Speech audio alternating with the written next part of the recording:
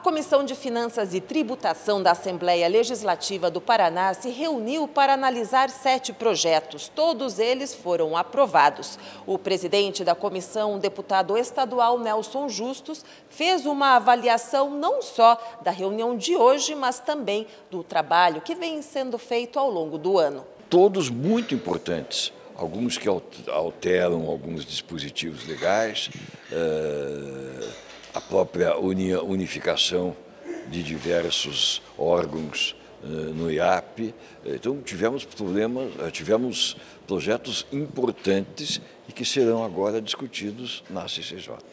Na, pra... na CCJ e no plenário. Para finalizar, o ano está acabando. Uma avaliação assim geral desse 2019 aqui na, na comissão.